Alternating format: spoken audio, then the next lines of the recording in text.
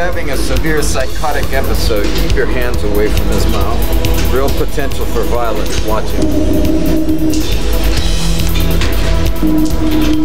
Freak!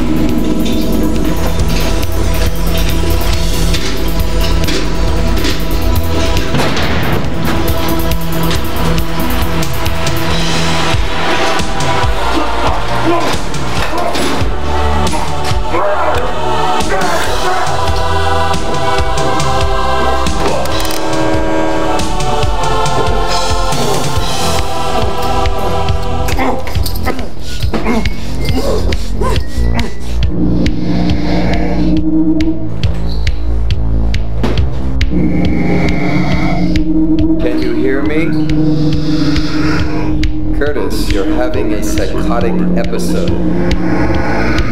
We're going to help you. Help.